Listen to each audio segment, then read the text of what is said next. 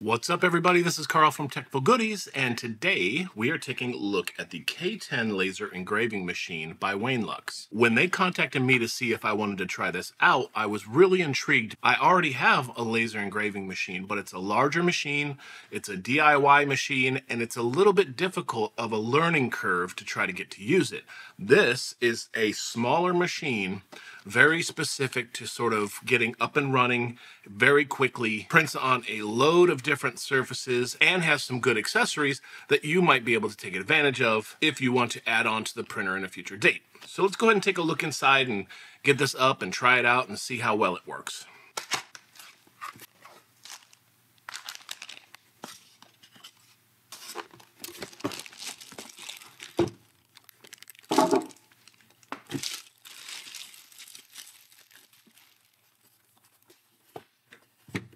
So here is the machine itself. Like I said, it is the K10. And you can see by the size of this machine that mm-hmm. it's actually very small and very compact. So the good thing about that is that it doesn't take up a ton of room on your desk. Now, if you're trying to laser engrave larger items, bigger items, you might want to look into obviously a bigger system or a more industrial system. But for a hobbyist, this is going to be great, especially for someone like me who wants to do hat patches like this or small little craft projects. So that will work great. In the box, they actually give you two pieces of wood here. Uh, these are sort of for testing out and printing. They also kind of give you a couple of utensils here to be able to use or adjust the box, as well as the obligatory standard giant manual that we can take a look at. Now, what I thought was really nice about this is that it does print on a variety of products. But one of the hardest parts that I had when I got into laser engraving was understanding the speed at which it engraves, the laser strength, and how that matches up with the material that you're on. So they do provide, and I will link this down below if you're interested in looking at it, but they do provide this additional sheet right here that basically shows each one of the different materials that you might want to use and the settings based on the printer here. So for example, if I'm going to be printing on birch plywood, this here says that the image must be monochrome, overscan is 1, interval is 0.07, speed is 5,000 millimeters per minute, and the power is 80%, okay? Now, like I said, when I was doing the DIY stuff, I didn't know exactly what material and what settings, so when I was trying to do like a hat patch, I would just burn straight through the entire patch because I didn't know what power to have on, and I had to tweak that and print out test patterns and all that kind of stuff. This should hopefully make it a little bit easier to make those settings work for the substrate that you're trying to engrave.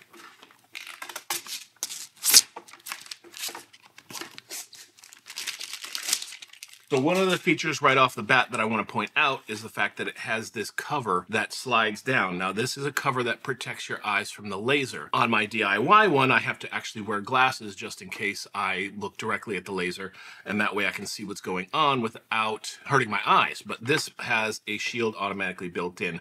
It also has a built-in fan.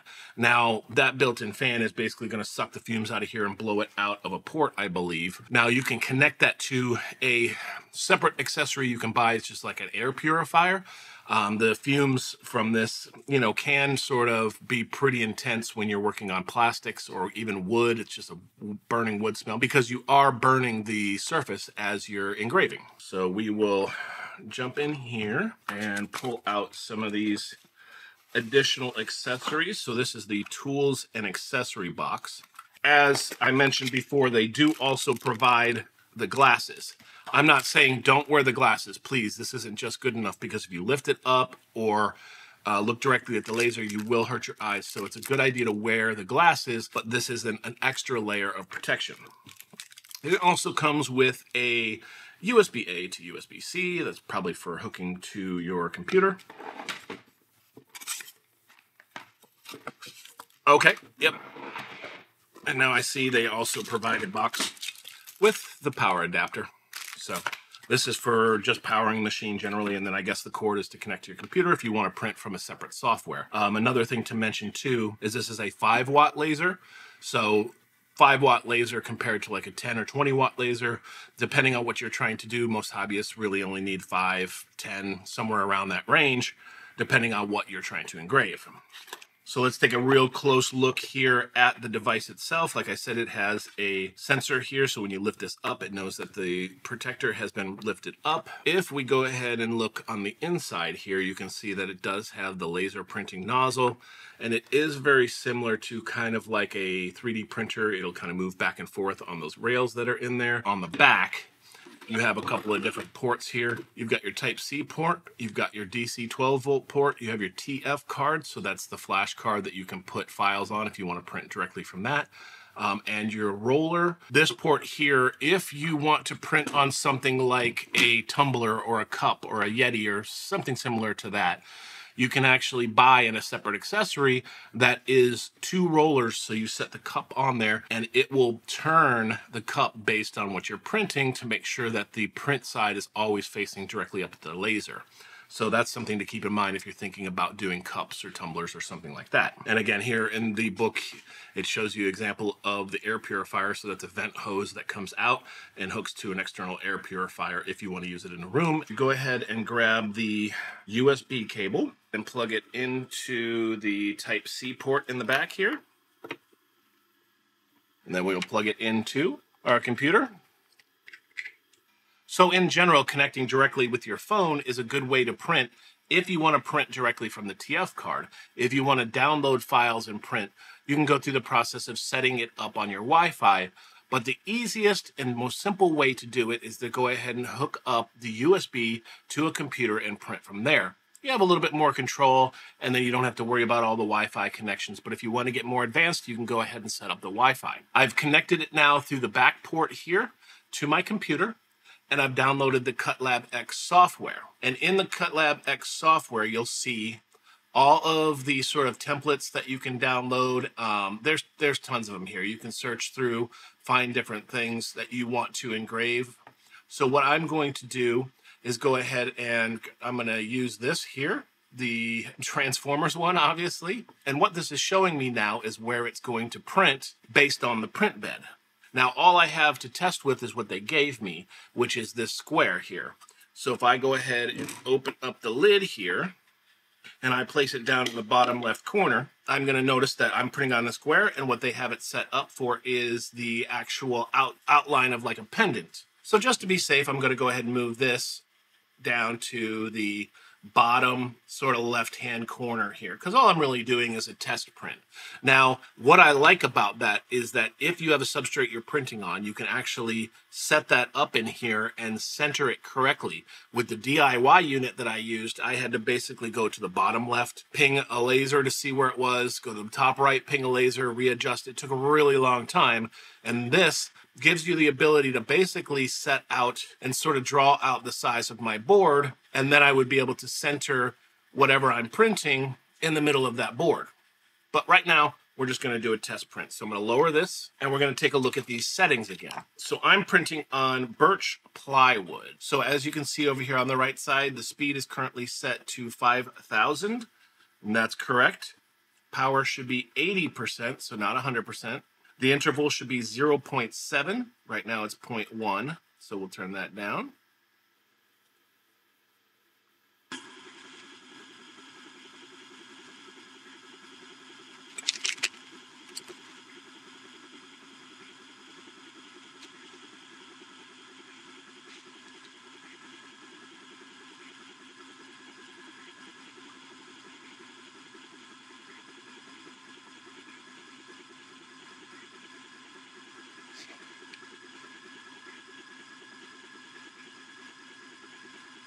And there we go. So let's take a look at this.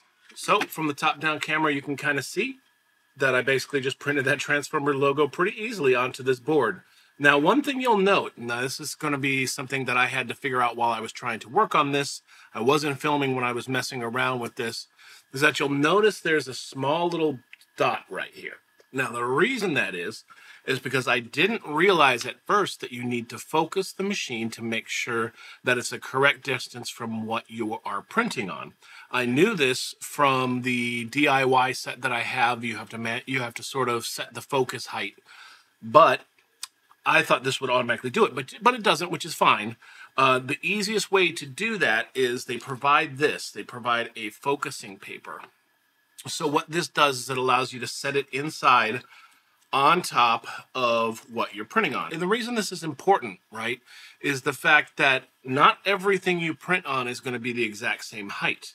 So you need to figure out the distance that the laser needs to be in order to print on whatever height item you have. So when you put this in here like that, you're going to end up being able to focus the laser and the way you do that is basically open this up and I'm going to show you from the top down view. I'm going to make sure this is visible. So there is a little switch right here.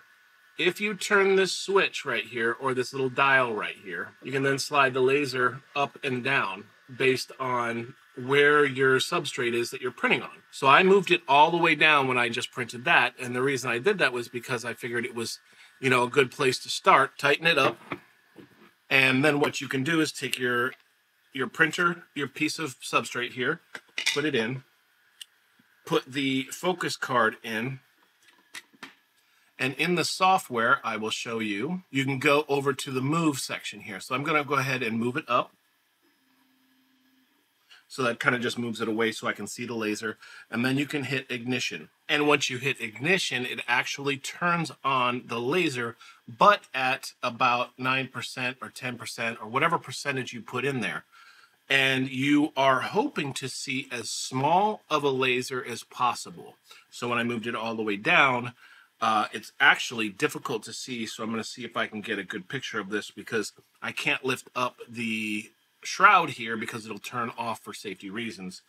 But let's see if I can zoom in here and you can see right now on the screen, I'm gonna hit uh, stop and the light goes off and I'm gonna hit start and the light comes back on and you can see how small that little dot is and that's good. When I first started doing this and I didn't realize I had to adjust that, I was seeing a much larger dot and I wasn't getting any sort of results on my substrate. Once I adjusted that, I was able to get uh, a really good looking print here. So I'm going to do another one real quick here on the back side of this. Alrighty, so we're going to go ahead and try another uh, image, just do a quick little test print here because what I want to do is I want to show you one other feature about this that I think is very important. Like I had mentioned before, it's sometimes hard to get it lined up so that what you're printing on will be exactly uh, where you think it's going to print. So what you can do is go ahead and open it up place what you're printing on in there. And then in the software, you can hit preview and watch what happens. It draws a square of the extents of what it's going to print. Now, of course, you can see here on the screen that this is my usable printer space, and I don't want to this print to really take all day. Um, so I'm going to go ahead and make it just a little bit bigger. I'm going to put it kind of up here in the middle, and then I'm going to hit preview again. And I can see that my board is a little bit off here, so I'm going to move it over. And preview again. And we'll go ahead and print.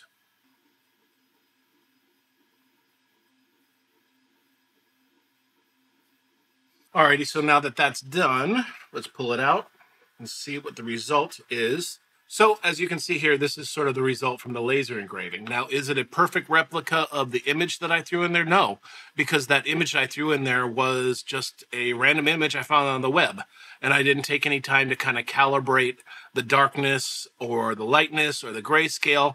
But if you can look here, I'll hold it nice and close. You can see that it sort of cuts into the wood right? So depending on the substrate that you're on, really sort of dictates what the quality is that you're going to get out of it.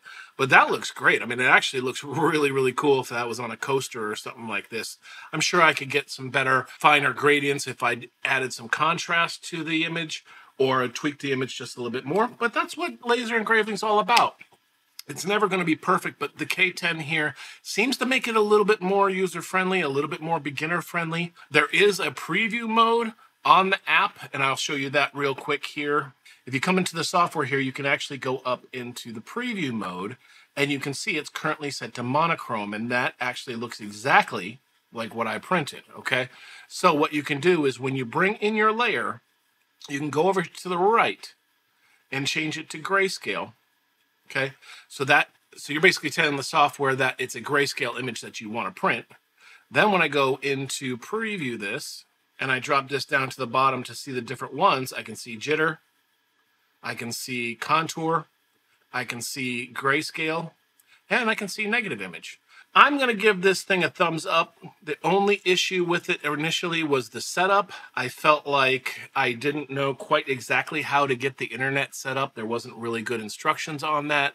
But once I plugged it into the machine, I can just type in my internet gateway here at my house, get that hooked up. Remember to make sure to focus your laser, make sure to change the settings based on what material you're printing on. But other than that, it's a sweet little machine. Thanks again to Wainlux for sending that over to me. I appreciate it. If this helped you out at all, I know sometimes it takes a little bit of time to get through these videos because I am learning this stuff as we go. And I think that's a real benefit because I know a lot of people learn that way is to be able to sort of learn by experiencing. And if I can help you with that, that's what I try to do. So if this helped you, give me a like, give me a subscribe. Love to see you back. Thanks again to all those who are already subscribed. But until next time, this is Carl from Techful Goodies, and I'm out.